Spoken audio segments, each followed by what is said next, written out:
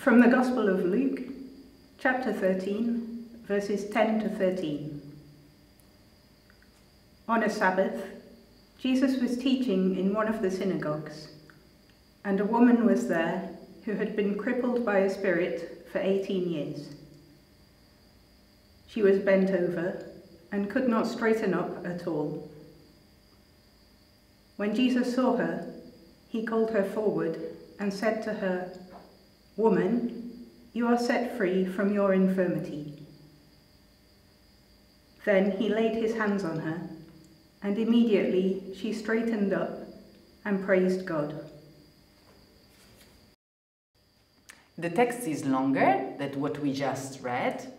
If you like, you can read until the verse 17, and there you will see a discussion between Jesus and the synagogue leaders.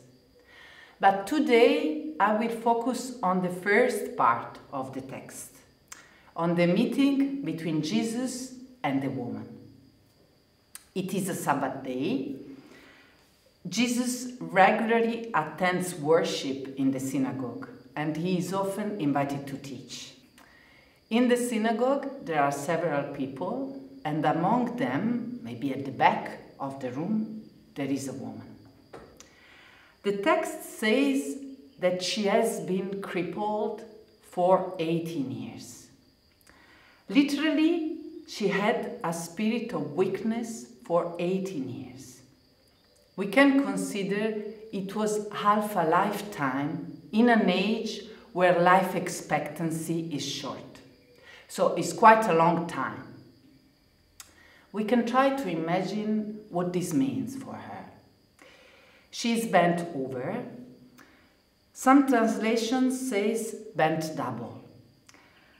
Her field of view is reduced and she can see only her feet. In this condition, we can suppose that walking is difficult and the relationships with others as well. She's forced to spend life looking down at the ground rather than up at the sky. She cannot look people in the eye. In a way, this weakness locked the woman up inside herself. Sometimes we feel like this in our life. We have the impression to be in a situation without any escape, where we feel closed up, where we cannot see further than our feet. However, even with this sickness that maybe makes her feel ashamed, the woman is there in the synagogue to pray. And something unexpected happens to her. Jesus saw her. The woman cannot look around properly, she can only hear, and maybe she was there that day without any hope for a change in her life. But it is Jesus who noticed her. He is not only looking at her, he sees her among all the people there. Jesus stops teaching, he directs all his attention to her, and he calls her forward. He will meet her personally. In a way, he invites her to move out of the crowd, to come to the light, to go out from her hidden place, to come to him. When Jesus speaks to her, he says, Woman. He doesn't say, You over there, the one bent over, or uh, You, the crippled woman back there. Jesus doesn't define her by her sickness. He doesn't reduce her to her weakness. He is able to see in her much more than anyone else could see. Her real identity, her whole being, the core of herself. And he calls her woman.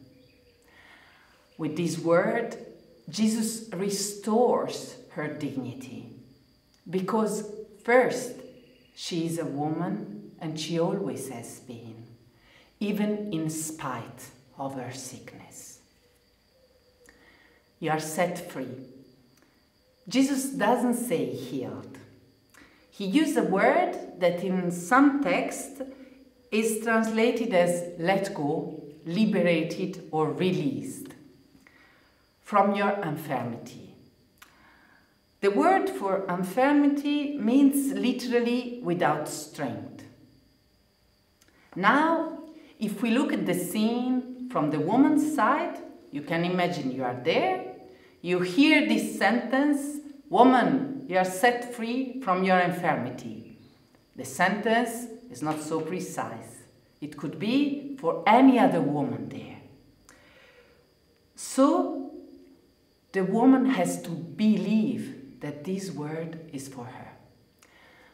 She has to tell to herself, He is calling me.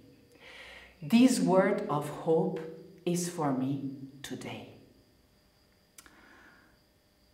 For the woman, the movement, the change is first an inner movement based on the word of Jesus who brings her from despair and discouragement to trust.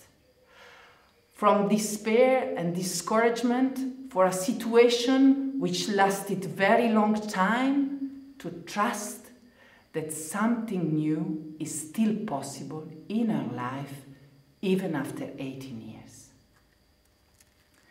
Then Jesus laid his hand on her, and immediately she straightened up and glorified God. The woman stands up, and the first person she sees is Jesus. Perhaps the first person who looked at her with love.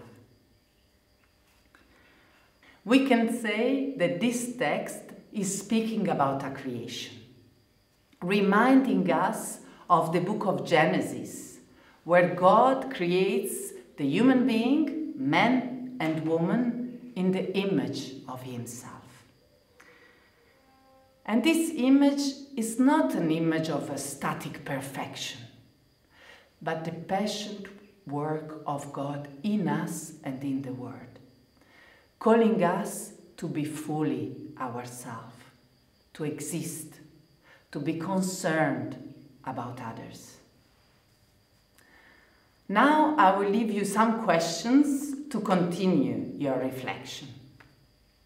You can ask to yourself, in my life, where do I have the impression there is a call for me to move forward, to pass from discouragement to trust.